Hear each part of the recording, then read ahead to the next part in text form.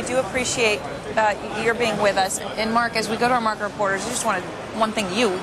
It's hard. It's hard to say this, but if you put it in context, rates are still very low. Yes. Now they are higher than they were very recently, but over the past 15 years, it's hard to find a time frame where rates have been as accommodating as they are right now to get Right. a mortgage. We just can't forget that. But the market still sucks. Yes, the and the sellers, is. Yeah. I don't get it.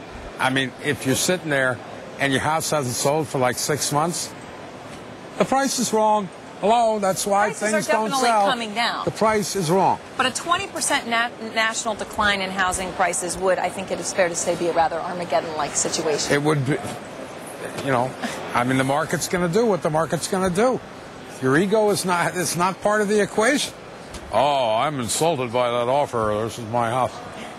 The market's a free market. Let's find out how this morning's news is playing out in the second half hour of trading. And we've got it all covered. Bob Pisani at the big board.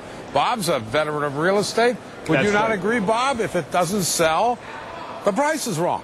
Every house has a home at the right price. Somewhere between a dollar and 10 million that you think it's worth is the selling price. You're absolutely right.